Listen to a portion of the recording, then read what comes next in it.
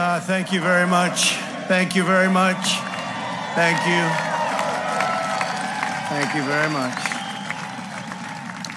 Friends, delegates, and distinguished guests, please. I stand before you tonight honored by your support, proud of the extraordinary progress we have made together over the last four incredible years, and brimming with confidence in the bright future we will build for America over the next four years.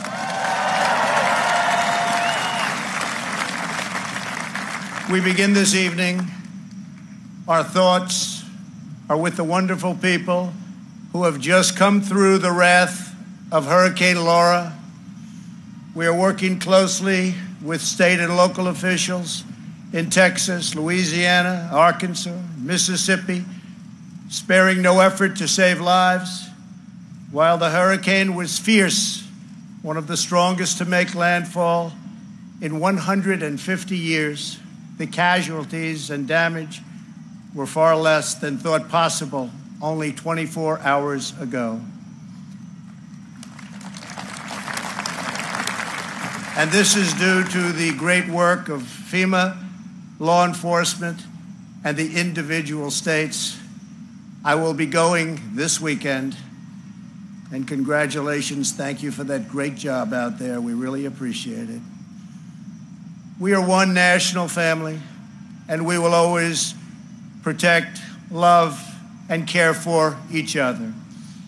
Here tonight are the people who have made my journey possible and filled my life with so much joy. For her incredible service to our nation and its children, I want to thank our magnificent First Lady.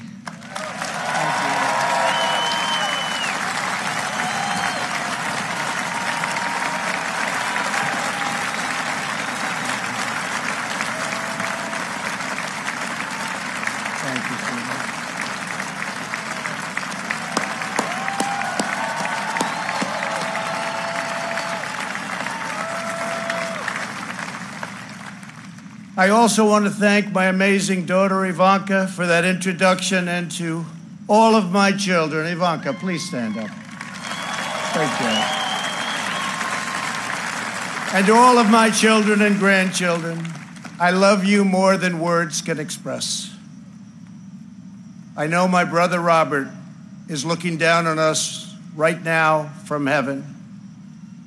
He was a great brother and was very proud of the job we are all doing. Thank you. We love you, Robert. Let us also take a moment to show our profound appreciation for a man who has always fought by our side and stood up for our values, a man of deep faith and steadfast conviction, our Vice President Mike Pence.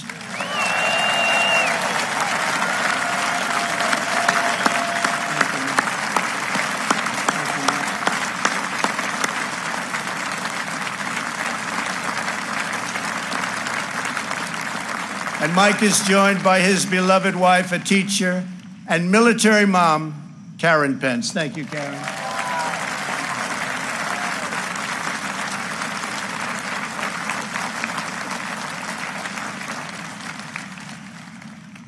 My fellow Americans, tonight, with a heart full of gratitude and boundless optimism, I profoundly accept this nomination for President of the United States.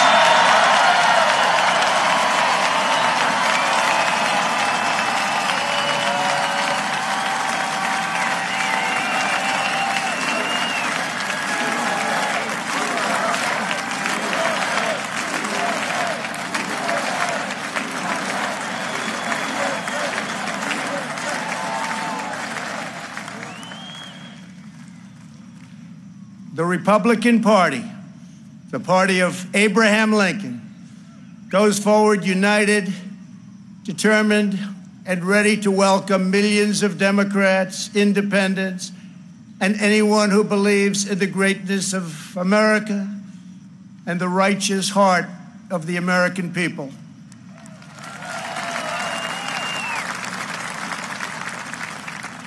In a new term as president, we will again build the greatest economy in history, quickly returning to full employment, soaring incomes, and record prosperity.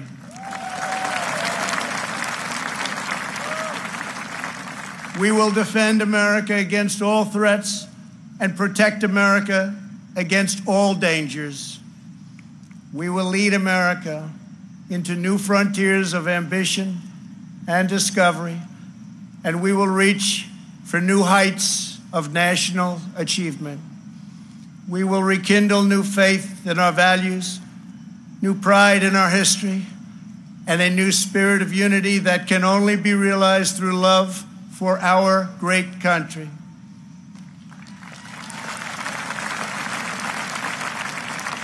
Because we understand that America is not a land cloaked in darkness. America is the torch that enlightens the entire world.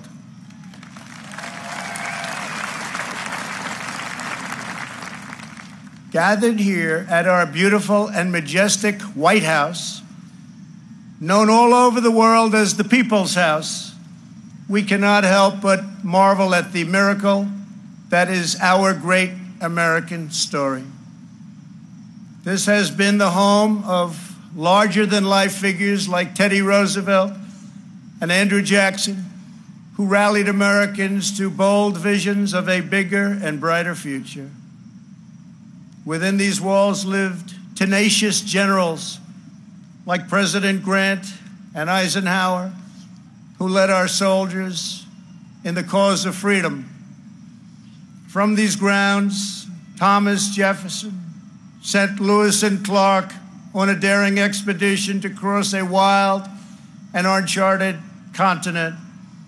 In the depths of a bloody civil war, President Abraham Lincoln looked out these very windows upon a half completed Washington monument and asked God in His providence to save our nation. Two weeks after Pearl Harbor, Franklin Delano Roosevelt welcomed Winston Churchill, and just inside, they set our people on a course to victory in the Second World War. In recent months, our nation and the entire planet has been struck by a new and powerful invisible enemy. Like those brave Americans before us, we are meeting this challenge. We are delivering life saving therapies and will produce a vaccine before the end of the year or maybe even sooner.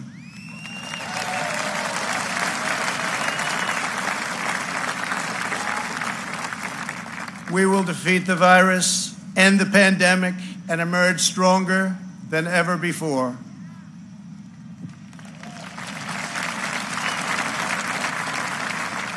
What united generations past was an unshakable confidence in America's destiny and an unbreakable faith in the American people. They knew that our country is blessed by God and has a special purpose in this world. It is that conviction that inspired the formation of our union, our westward expansion, the abolition of slavery, the passage of civil rights, the space program, and the overthrow of fascism, tyranny, and communism. This towering American spirit has prevailed over every challenge and lifted us to the summit of human endeavor. And yet, despite all of our greatness as a nation, everything we have achieved is now in danger. This is the most important election in the history of our country.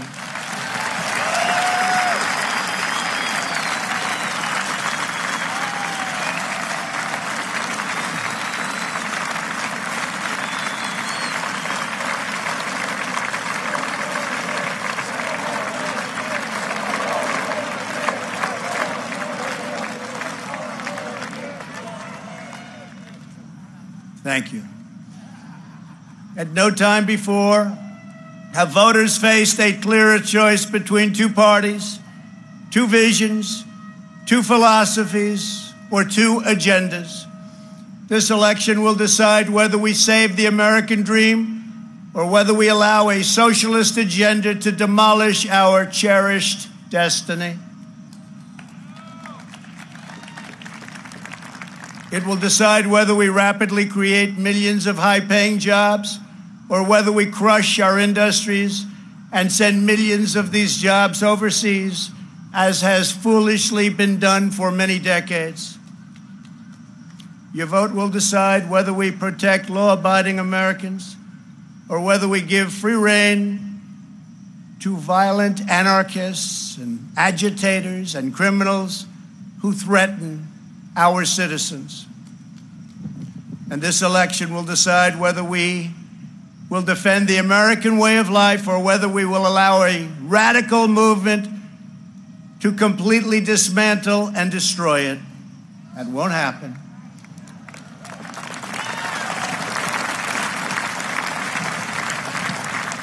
At the Democrat National Convention, Joe Biden and his party repeatedly assailed America as a land of racial, economic, and social injustice. So tonight I ask you a simple question How can the Democrat Party ask to lead our country when it spends so much time tearing down our country?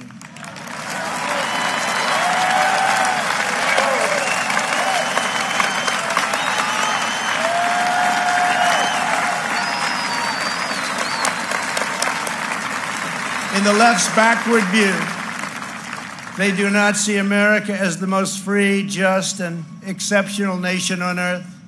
Instead, they see a wicked nation that must be punished for its sins.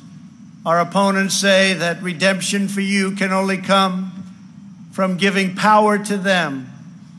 This is a tired anthem spoken by every repressive movement throughout history. But in this country, we don't look to career politicians for salvation. In America, we don't turn to government to restore our souls. We put our faith in Almighty God.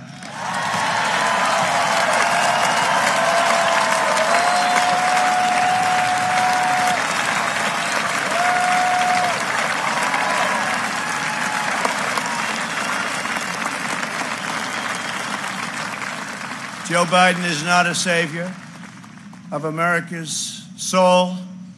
He is the destroyer of America's jobs.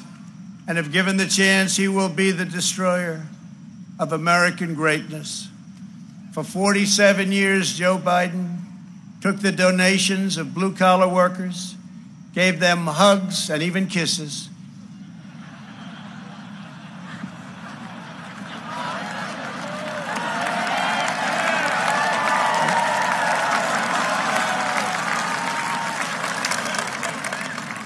and told them he felt their pain. And then he flew back to Washington and voted to ship our jobs to China and many other distant lands. Joe Biden spent his entire career outsourcing their dreams and the dreams of American workers, offshoring their jobs, opening their borders, and sending their sons and daughters to fight in endless foreign wars, wars that never ended. Four years ago, I ran for president because I could not watch this betrayal of our country any longer. I could not sit by as career politicians let other countries take advantage of us on trade, borders, foreign policy, and national defense. Our NATO partners, as an example, were very far behind in their defense payments. But at my strong urging, they agreed to pay $130 billion more a year, the first time in over